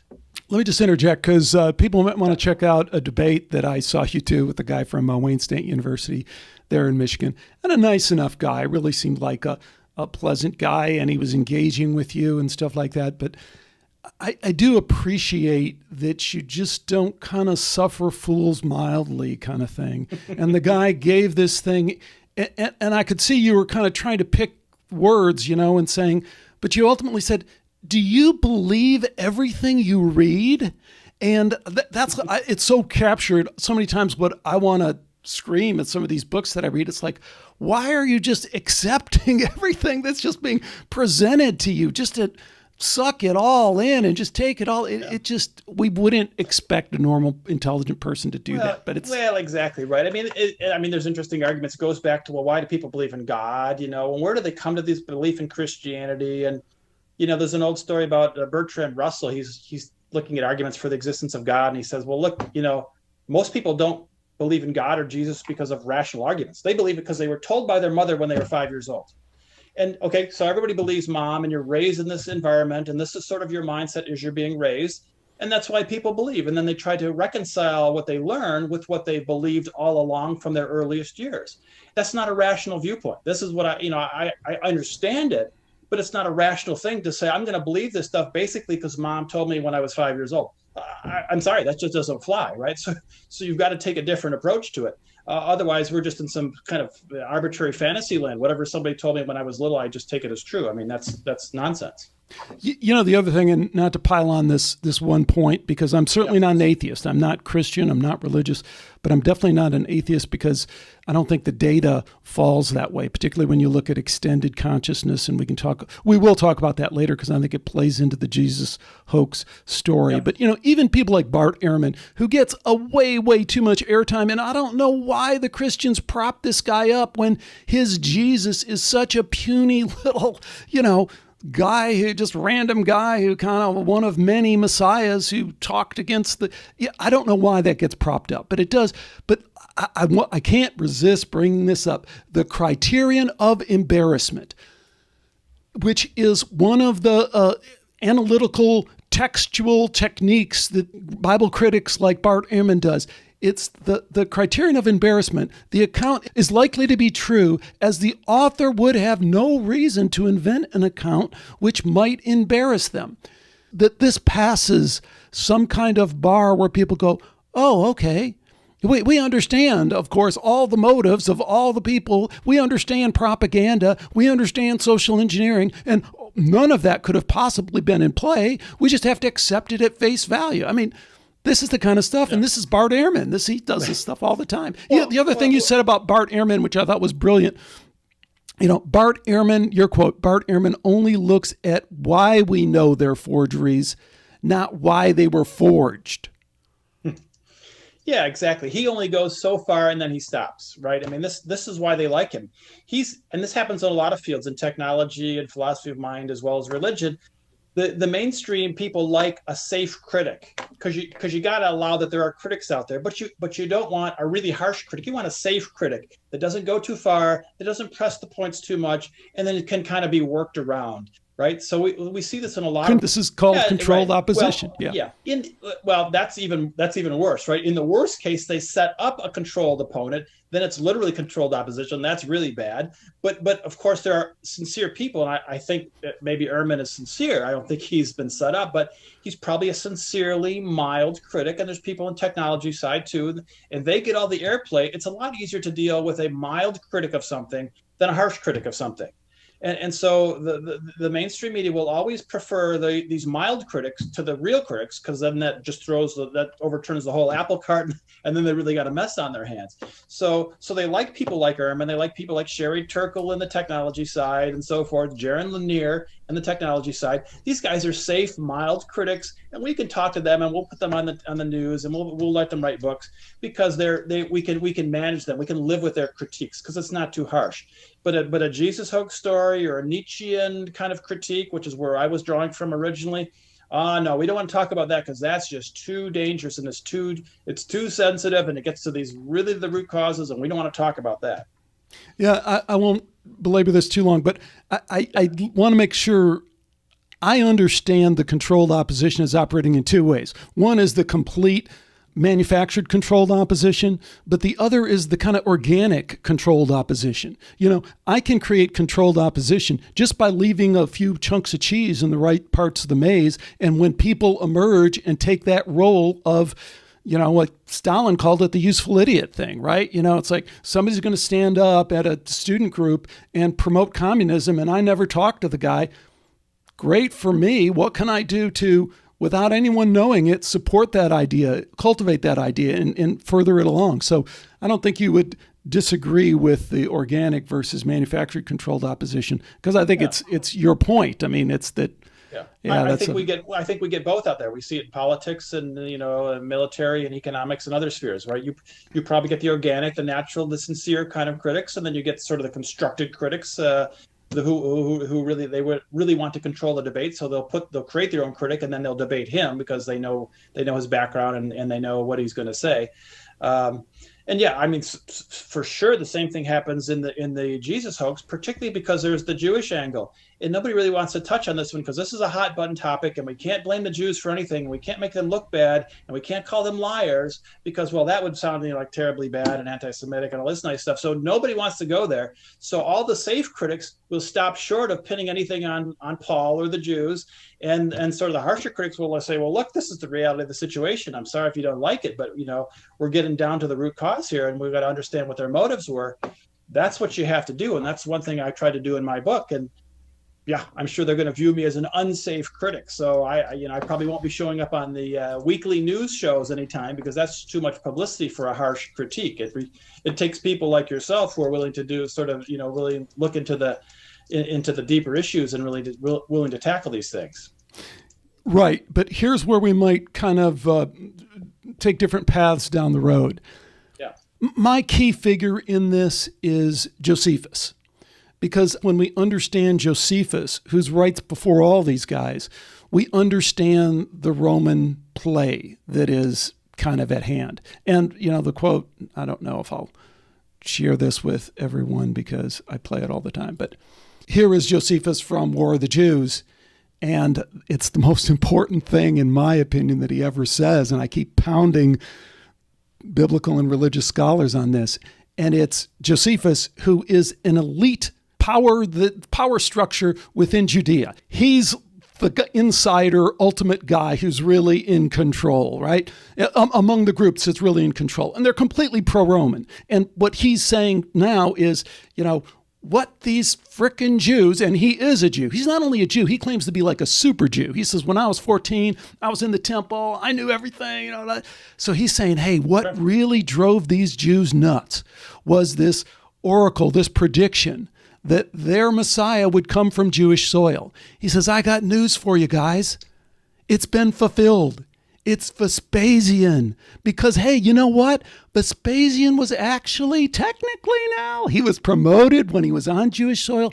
This fulfills it. So, Jews, I'm telling you, as someone who went into the cave to commit suicide and then had that had this revelation, now I have a, another revelation, and this is it you know, this is the beginning of the psyop to me. There's no other way to read this other than propaganda psyop in order to play a well worn trick in the Roman playbook, which is hey, well, you know, spears and shields work great, but if I can spin you a story or convince you of something or co opt your religious beliefs, all the better. It just amplifies my military power. And why wouldn't I? So, what do you think about Josephus as being the key to understanding the beginnings of this Roman PSYOP program? Yeah. So, right. So we have to understand Josephus. I mean, he's been painted as like one of the great traitors in all of history. He was on the Jewish side to the extreme, as you said. He was on the brink of being killed he to save his skin he converts to the roman side because the romans are in the process of slaughtering the jews. He converts to the roman side agrees to work for pay for the emperor and be their their man their their envoy to the jewish world. And he becomes you know well, well paid and, and, and influential because of this let me just interject because I yeah, think there's a yeah. really important point here that that I've yeah. kind of stumbled upon, and I keep playing this out to people, waiting for someone to slap me down, and all I get is further and further support. And that's that. If you look at the Copper Scrolls among the Dead Sea Scrolls, the, the Copper Scroll is really kind of a treasure list. It says, here's where the treasure is buried. Here's these tons of silver that are buried here and here and here. And at the end of it, it says, this is a copy. I think that's what Josephus had. That's what Josephus traded. Because what, look at what Josephus got. Josephus got not only his freedom, but his freedom for 200 other people. They got to get Rome. They got to live in Vespasian's villa. They, eh, all that stuff. And the way that this is written, that somehow he was given all that because he predicted, he made some, yeah, I predict that Vespasian will be emperor. Okay, here's all your stuff. How about the fact that, you know, all the stuff that we see, all the booty, the loot, the gold that built yeah. the Colosseum that we see in the Arch of Titus. No. It wasn't just laying there for them to come scoop it up. It was buried. It was hidden. They had a 90 day siege. Who's going to sit around with all their gold and go, gee, I, I hope those Romans, who we know are going to eventually kick our ass, I hope they don't come in here and take all our gold. You bury it. Josephus knew where it was buried, and that was the deal that was struck. And it struck again in 130, but that's a different story. Yeah, exactly. I, I, just throw that out as a hypothesis. Yeah, there were, there were two later revolutions in 115 and 130, roughly. So it was an un- unending battle. I mean, this was going on for many years, right? From from the first uh, re- Jewish revolts that was started about the year zero, there was active resistance, to the first major revolt in the year 70 when the Romans destroyed the temple in Jerusalem. And that was shortly after that that, that Josephus tur- turned coat and became a, a Roman advocate, right? So I don't. I guess I don't know enough about the the story of the hidden treasure. I guess it's certainly possible. You you have to assume that the Romans would have taken whatever was in the treasury of the temple, so they hauled off those those goods. That was part of their booty. Maybe they got guys like Josephus to talk, and then maybe they hauled away some yet more more goods. But I mean, I I don't know if it made it, you know. It, I don't know if it made a difference to the Roman Empire, for God's sake. You're talking the Roman Empire, right? Versus, you know, a small tribe of Jews in the Middle East. So I don't know how much wealth they could have had that, that it made that much of a difference. I'm sure they were probably happy to get whatever they could they could confiscate. Well, I'll just throw this out. Probably yeah. the, the where it really had leverage is with Vespasian, because Vespasian yeah. is a soldier's soldier, and he knows what motivates soldiers, and it's money. So, and, and if you look at the, the period, you know, Vespasian is made emperor during this incredible turmoil where there's four emperors in a, in a year period. And then he emerges after he goes to Egypt and he pulls all these mercenaries together. And then he sails into Rome and he says, I'm the guy. So imagine, so you're right, maybe not the whole Roman Empire is affected, but imagine if Vespasian had that loot. Could he, in a very tumultuous kind of fluid situation, who's emperor, walk in with the money and the mercenaries and uh, seize power? That makes, again, that makes much more sense than any other story I've heard. And, and therefore, he brings along Josephus as his as his financier, basically. Is a financier, historian, and also somebody who has to yeah, he, he, they now are bound by, you know, this is a human intelligence kind of thing, right? Yeah. I need to keep an eye yeah. on you, you know. Yeah, yeah. Could could could be. I guess you know I, I don't have a, a, strong opinion either way. I, I, have no problem with that with that thesis. I think it's probably as likely that Vespasian needs a guy. He needs his man to talk to the Jews because you still got the problem with the Jews. Even though you wipe out the temple, you still got active revolt. You have resistance on your hand. You still need the envoy to Judea. So you got to find somebody. What are you going to do? You know, they had Herod for a while, and, and, and then then you need somebody. You need your own guy. So it's not surprising they dig up a guy like like a Josephus, and they and they either coerce him or bribe him to, to, to turn coat over to, to the Roman side. And now he's working for Rome. He's working for Vespasian. So everything that comes out of Josephus' mouth is, hey, I love those Romans. Vespasian, he's a great guy. Man, he was the oracle. He's the savior. He's the whatever. I mean, this is this is the you know t- typical you know suck up you know 101. You're going to play up your boss big time. Okay. Now that but that does not that does not obviate the whole Jesus hoax because the problem is Josephus seems to not know about the Jesus hoax until the year 92. So, so I mean, it's, it's very late when he actually publishes it, and it's very small passage on on the existence of Jesus. So there's a long time. There's several years in there when he could have written or talked about it. He doesn't. It's only very late. It's not even sure that that's a legitimate passage in Josephus. It might have been added later by, you know, pro-Christian advocates. We don't really know. So, so I can accept pretty much the pretty much the whole story about Josephus, and I, I say, well, look, that has no real bearing on the Jesus hoax story, which says it was Paul, the gospel writers in Palestine. They were doing the writing. They were trying to still get back at Rome. Josephus doesn't want to get back at Rome. He loves Rome because Rome's paying him well, giving him a nice house and lots of perks. So he's got nothing against Rome. He's going to play up Rome. Paul and the and the gospel writers, they still hate Romans like you know they hate their guts and they want those guys dead. They want them out of here. They want to destroy them and they they do that for for decades and like you said until the to the second and third revolution in uh, in 115 and 130 AD. So uh, yeah, I have no problem with the, with the Josephus story at all. The other thing I read in Josephus in that passage that I sent is that the Romans are keenly aware of the social engineering game as it relates to religion. They're playing that hard. And I think we can look back and kind of fail to see how it might have looked to them. Because on, by all indications, it seemed to me that they thought they had a chance.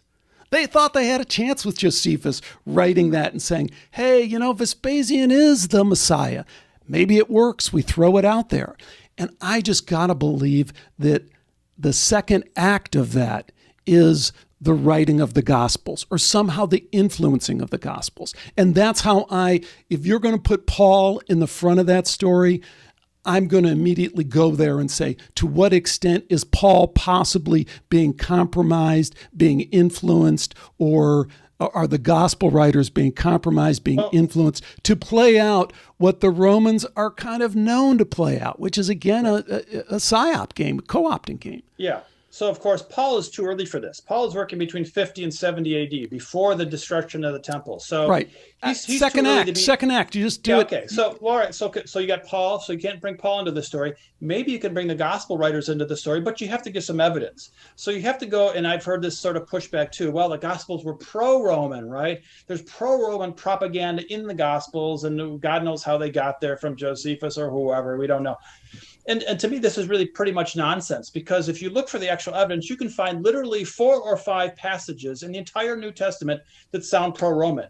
And I say, well, let's look at all the passages that are anti Roman, that are rebellious or against the Roman worldview or against the wealthy and the powerful. And I can come up with, you know, three dozen of those. And you can come up with three or four passages on the other side. So I say, well, look, what's the preponderance of evidence? It's clearly on the anti Roman side. There's no, that's not even close. And no one, no one is able to give me a counter argument. There's, there's actually very little pro Roman evidence in the New Testament. We're talking the Gospels, the four Gospels this, it's not there in Paul either, for that matter. It's not anywhere in the New Testament. Very little pro-Roman propaganda in the Gospels. If they did propaganda, I'm not doubting they did it, but they probably did it in other ways, not through the Gospels, because the Gospels were anti-Roman propaganda written by the Jews to get back at the Roman overlords. That's that's the most uh, I don't read the Gospels as anti Roman as you do, and I see them as subtly pro Roman. You know, the give unto Caesar, go the extra mile. Uh, Pontius Pilate, I wash my hands of this. This is a setup. You know, when I was a kid growing up in Chicago, yeah. going to a Greek yeah. Orthodox church, yeah. you go to Greek Orthodox church when you're a kid like me, second generation. I knew only a few words of Greek. So I sure didn't know that whole thing they were spitting out there all in Greek. I had no idea. But you know what I knew? I knew there was that guy hanging up on that wall in that kind of homoerotic Jesus on the wooden thing. And the other thing I knew, I knew those frickin' Jews were somehow responsible. I knew that. And when the guys got together afterwards and we talked, you know, stuff like that, and joked about the Jews and stuff like that, it was always like somehow they were responsible. I think the Bible is incredibly anti Semitic. It's incredibly this blame this on the Jews kind of thing. And then I think the Jews are the Jews, which have really kind of a very hokey, hokey religion, you know, this thunder god religion, which doesn't, it's the only reason it's propped up is because of Christianity. And Christianity is dependent on Judaism. And Judaism seems to me to be playing this role of the antagonist, which at the ultimate, at the end of the day, in a very subtle way, they did kill Jesus, by the way. You know, that's the one thing that you got when you were at least what I got as a Greek Orthodox kid. They I can't really read the Bible, but they're somehow responsible. So yeah, couple, couple things, right? So maybe on a future show, we'll go through and we'll compare the pro-Roman passages and the anti-Roman passages. And you can read me the three or four that you have, and I'll read you the 35 or 40 that I have, and then we'll talk about the pros and the cons. So I'd be happy to do that. That'll take a little bit of while, but we're happy to do that anytime. Give me a couple of highlights that you think are most damning to the to the Roman uh, power structure. And if you have to look them up, that's fine. And take your time. Okay, so here's some anti-Roman passages, right? So we're talking about non-materialist anti-wealth pack, uh, passages. So we we are railing against the love of money, against the wealthy, against the powerful, right? Blessed are the poor, blessed are the meek, right? These are not the Romans; these are the common people, right? Uh, wealthy man, you know, camel through the needle's eye. You got a wealthy man's not getting into heaven. Those wealthy Romans they're not getting to heaven. Only the poor are. Um, you can serve either God or mammon. Yeah, okay, that won't work. Um, your riches have rotted. We see this in some of the letters, right? Um, yeah, we have Paul's letters. We have talk about the present evil age. We have the slaves will become free these are in Paul. Jesus delivers us from Satan, from uh, to God, right? Um, we talk about there's these militaristic terms. Talk about the breastplate of faith and the helmet of uh, hope, right? Uh, these things are uh, sort of in First Thessalonians. Um, we have, you know, God will crush Satan. Well, who's let's talk about Satan. Who's the Satan in the world? It's the Rome. It's the Roman power. That's the Satan of the world. It's not some devil character who's running around if we look at the uh, gospel specifically, we talk about um, surrendering your life, right? Lose your life for my sake. Uh, the first shall be last, and the last shall be first. Who's going to win? It's it's the it's the low and the downtrodden who are going to win out. Nation will go against nation. We will fight against. You know, you will be against your own family on my behalf. Jesus says, "I've come not to bring peace, but a sword. Whoever is not with me is against me. The end will come." Right? The devil rules the worldly kingdom. I come here, says Jesus, to cast a fire, bring not peace, but division. Bring your enemies here before me and slay me. If you don't have a sword, sell your cloak and buy one. Uh, the whole world is ruled by the evil one, which is Rome. Yeah. There's just a couple ones that that pop out. You know, the sword thing. I I'm with you. I, I get that. There's heart. Hard to interpret that differently.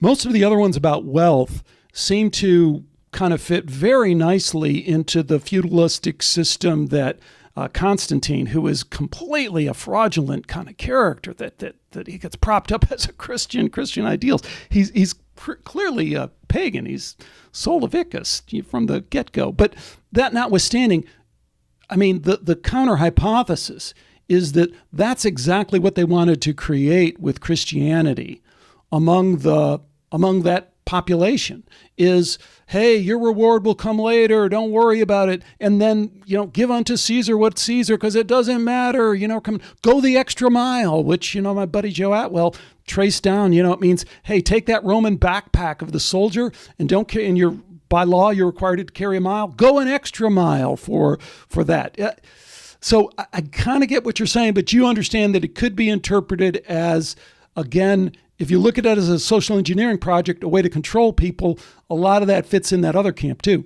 Well, okay, I, I yeah, I mean, you have, we'll have to go through the passages in detail. And again, maybe we could do that another time, you know. But but you know, the the render to Caesar and pay your taxes and love thy neighbor. I mean, those are literally three or four passages that you see in the Gospels, and and you know, you, you have to sort of make a coherent story about these things. And it's I, I don't know. There's there's so many that are sort of you know violent, revolutionary, rebellious it's hard to see how that fits into a peaceful, loving, just be calm, go to work, pay your taxes, don't rabble, don't be a rabble rouser. I mean, that's what Rome is going to want to portray. But you see all these, you, that's not what you see. You see all these sort of, you know, belligerent, antagonistic kind of passages that are there that people have a hard time, people like Atwill have a hard time explaining. The, the peaceful Jesus people have a hard time explaining. It's only when you read it as a kind of a, as kind of a hoax story and kind of a, as a manual for a sort of rebellion that it starts to make sense, at least in my opinion.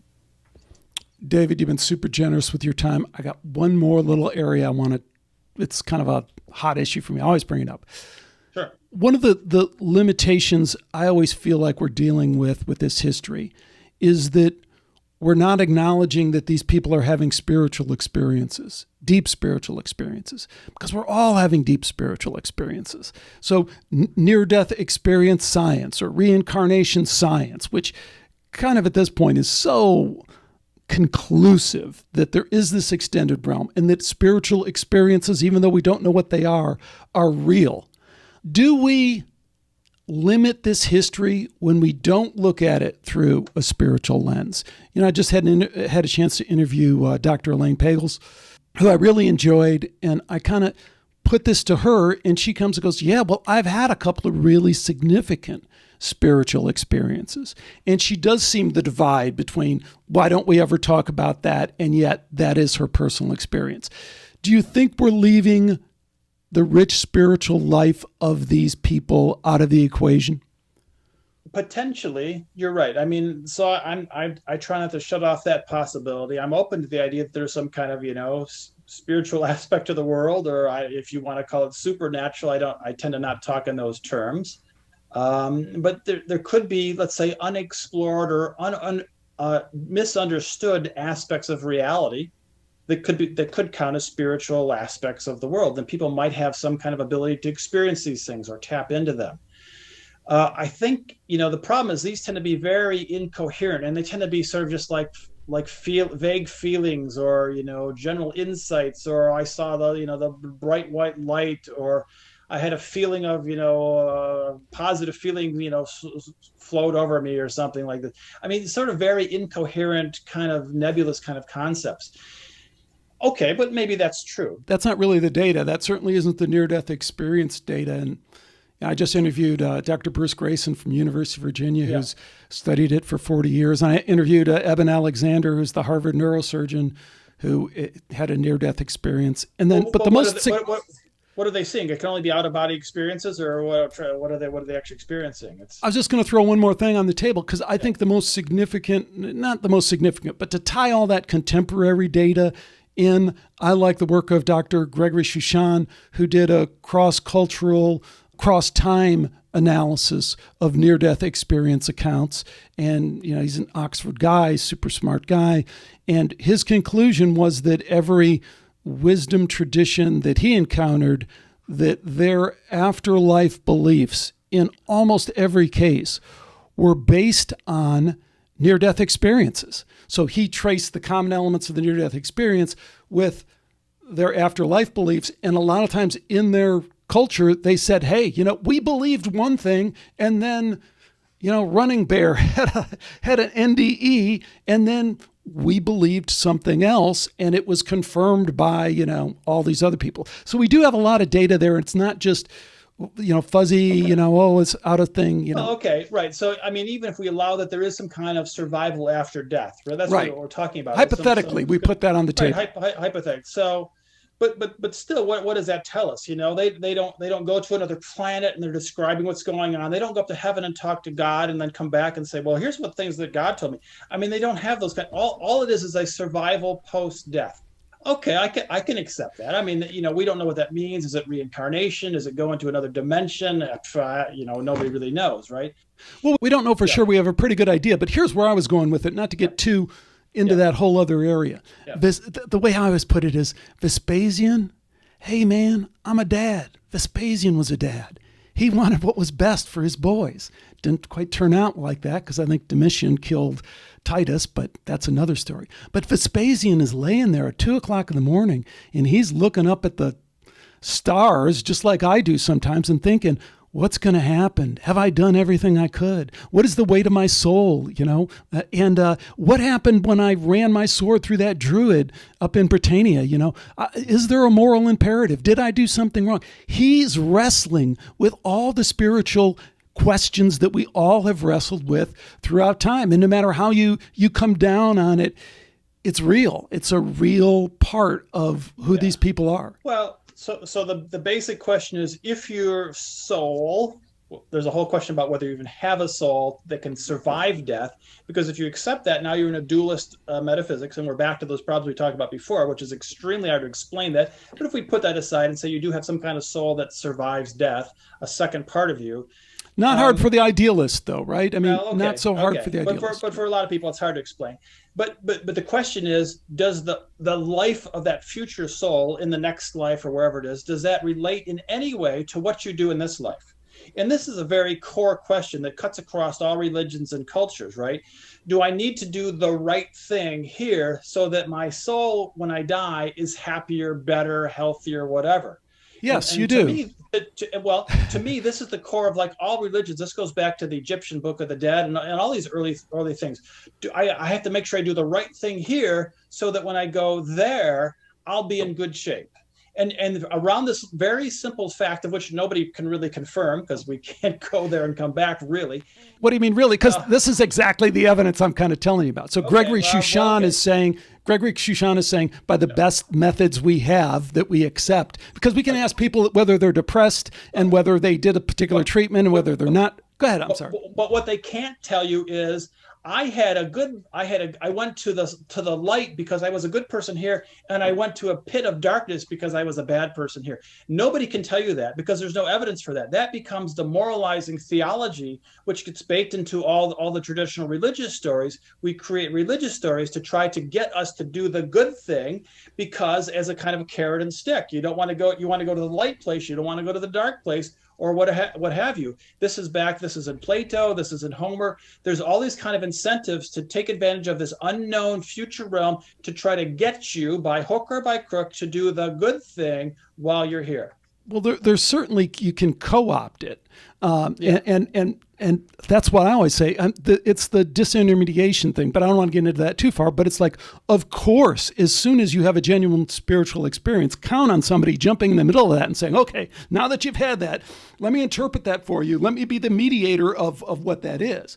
But sure. I would suggest that the data is, at this point is uh, overwhelming. The, the data for reincarnation is irrefutable uh, as far as I can see is unchallenged. Irrefutable isn't a good word. It's unchallenged. So Ian Stevenson at the University of Virginia, Jim Tucker at the University of Virginia, multiple multiple published books, papers, peer-reviewed journal articles. They even have physical evidence where birthmarks and then they trace the uh, proposed or hypothesized a reincarnated uh, former life kind of thing, all that kind of stuff. And so the question about the moral imperative really comes down to is it completely manufactured as you say, Or is there evidence that people have encountered an extended realm and have learned something, and what they've learned is that there is a moral imper- there is a moral imperative, and is that in fact factual? Well, the evidence for that, the evidence that we have, and again, it's the same way of the only way we know